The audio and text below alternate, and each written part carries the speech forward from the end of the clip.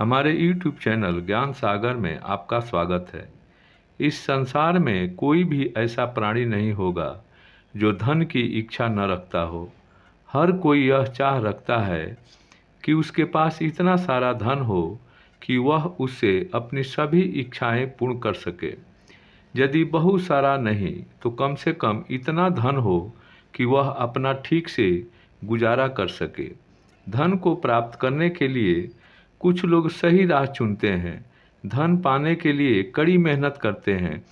परंतु कुछ लोग छल कपट का सहारा लेकर अति शीघ्र धन कमाने की कामना करते हैं। दूसरी तरफ़, कुछ ऐसे लोग भी होते हैं जो पैसा तो कमाते हैं, लेकिन उनके पास पैसा टिकता नहीं है। सुबह उनका पर्स पैसों से भरा रहता है, लेकिन शाम होते होते कुछ चंद सिक्कों के अलावा उनके पास कुछ शेष नहीं रहता। इस समस्या से निपटने के लिए शास्त्रों में कुछ अचूक उपाय बताए गए हैं, जिन्हें अपनाने से आपके पास सदैव धन टिका रहेगा। आपका पर्स कभी खाली नहीं होगा। शास्त्रों में प्रसिद्ध वास्तुशास्त्र में यह बताया गया है कि इन पाँच वस्तुओं को आप अपने पर्स में रखेंगे तो आपके पास धन की कमी नहीं होगी। आपका पर्स कभी खाली नहीं रहेगा। आइए जानते हैं, पर्स में वो कौन सी पाँच वस्तु रखने से आपका पर्स खाली नहीं रहेगा। आपकी फिजूल खर्ची कम हो जाएगी। पहला, धन की देवी माँ लक्ष्मी की तस्वीर।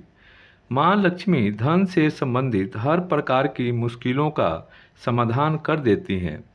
माता लक्ष्मी की तस्वीर यदि आप अपने पर्स में रखेंगे तो आपको कभी भी पैसे की कमी नहीं होगी। आपका पर्स खाली नहीं होगा। माता लक्ष्मी की वही तस्वीर अपने पर्स में रखें, जिसमें वे बैठी हुई मुद्रा में हो। दूसरा, पीपल या तुलसी का पत्ता। हमारे हिंदू धर्म में पीपल और तुलसी दोनों को ही पूजनीय मानकर उनकी पूजा की जाती है। शास्त्रों में इनका अत्यधिक महत्व है, तथा दोनों के धन से जुड़ा अनेक शास्त्रीय उपाय भी हैं। वास्तुशास्त्र में बताया गया है कि पर्स में हमेशा पीपल अथवा तुलसी का पत्ता रखना चाहिए। ऐसा करने से आर्थिक लाभ होता है। इन पत्तों को शुभ मुहूर्त में इसे पर्स में नोटों के साथ रखना चाहिए। ऐसा करने से आपका पर्स सदैव धन से भरा रहेगा। ज़रूरत के समय आपको कभी भी आर्थिक परेशानी का सामना नहीं करना पड़ेगा। तीसरा, लाल रंग का कागज़। यह एक प्रकार का टोटका है जिससे मनोकामनाएँ पूर्ण होती है। यह एक अचूक टोटका माना जाता है। इस टोटके के लिए आपको सिर्फ़ एक लाल कागज़ चाहिए। इस कागज़ में आप अपनी इच्छा कुमकुम या हल्दी से लिखकर उसे रेशमी धागे से बाँध लें, इसके बाद इसे अपने पर्स में रख लें। ऐसा करने से आपकी मनोकामना अवश्य पूरी होगी। यह उपाय सुबह स्नान कर अपने इष्ट देव की पूजा करने के बाद करनी चाहिए।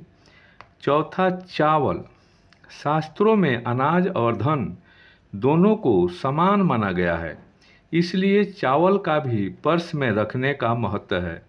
आप जो चावल पूजा में अक्षत के लिए उपयोग करने के लिए रखते हैं, उसी अक्षत वाली चावल में से एक चुटकी अपनी पर्स में रख लें। इस उपाय से आपका अनचाहे खर्च कम हो जाएगी। फिजूल खर्ची पर लगाम लग जाएगा। पांचवा, छोटा शीशा या छोटा चाकू। शास्त्रों के अनुसार यदि आप पर्स में एक छोटा शीशा का टुकड़ा या छोटी चाकू रखते हैं तो यह आपके धन वृद्धि में सहायता करते हैं। आप पर्स में कौड़ी या गोमती चक्र भी रख सकते हैं।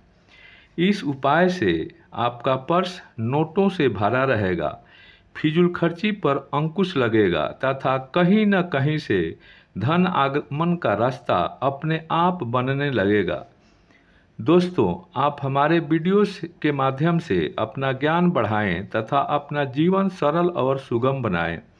मेरे वीडियो को लाइक और शेयर करें तथा मेरे चैनल को सब्सक्राइब करें।